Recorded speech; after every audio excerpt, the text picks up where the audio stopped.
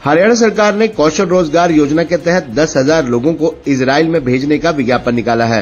सरकार के इस फैसले पर कंस्ट्रक्शन कर रहे युवा कुछ खासे खुश नज़र नहीं आ रहे हैं। चंदन कुमार कंस्ट्रक्शन का काम करते हैं, जिनकी उम्र बत्तीस वर्ष है। चंदन कुरुक्षेत्र के झांसा रोड स्थित श्याम कॉलोनी में रहते हैं।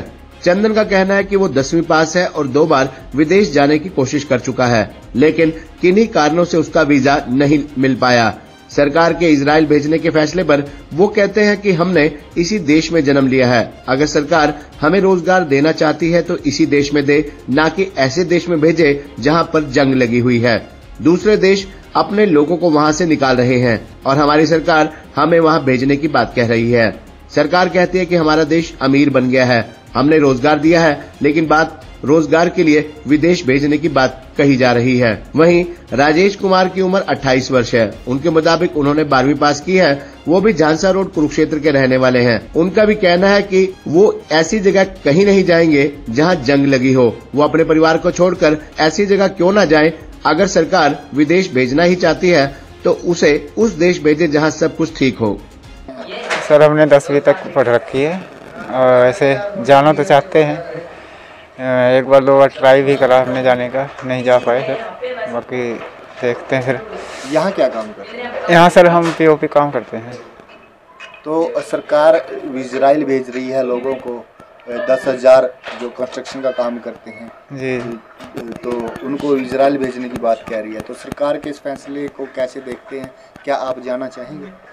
जी सर जाना तो चाहते हैं लेकिन वहाँ पे ऐसा जो हो रहा है, जो युद्ध का सिस्टम छिड़ा हुआ है, अब वहाँ पे जाके ऐसे जगह क्यों भेजे सरकार फिर? भेजे तो ऐसे जगह भेजे जहाँ पे मतलब सुरक्षा भी हो अपना।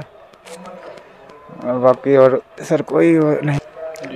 तो ऐसे तो सरकार को बोलती है कि हमारा देश अमीर हो गया है। और फिर ऐसे जगह क्यों भेजना चाहिए सर, जो युद्ध छिड़ा हुआ है जहाँ पे?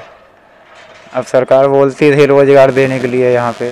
अब रोज़गार तो दिया नहीं फिर हमें वहाँ क्यों भेजने के लिए कह रही सरकार? क्या नाम है? चंदन कुमार। जी हम तो इसराइल नहीं जाना चाहेंगे। हम तो ऐसी जगह जाके क्या करेंगे जहाँ युद्ध चल रहा है अपना परिवार छोड़ के। हम तो दिहाड़ी मजदूरी करने वाले यहीं अपना गुजारा कर लेंगे। अगर सरकार को देना भी है कोई रोज़गार देना तो अपने देश में दे। ऐसी कंट्री में क्यों भेजे जहाँ पे मान चलो युद्ध हो रहा है? अदर कंट्री वहाँ से अपने बंदे निकाल रही है तो हम लोगों को वहाँ भेजने क्या मतलब? रोज़गार देना है तो अपने देश में दीजिए। तो सरकार के ये यह फैसला सरकार का फैसला जो होगा अपना सरकार जाने इस चीज़ से हम तो नहीं संतुष्ट है। जी हम ऐसी जगह क्यों जाना चाहेंगे जहाँ जान का खतरा हो? इसे पढ़ाई कितनी की? पढ़ाई जी प्लस टू कर रखी मैंने। विदेश जाने की विदेश जाने की जी सबको इच्छा होती है ऐसी जगह भेजे जहाँ आदमी की सुरक्षा हो प्रोटेक्शन हो जहाँ पे मान चलो अब ऐसी जगह थोड़ी जाना है जहाँ पे युद्ध चल रहा है वहाँ किसी की जान माल का कोई खतरा हमेशा बना रहे।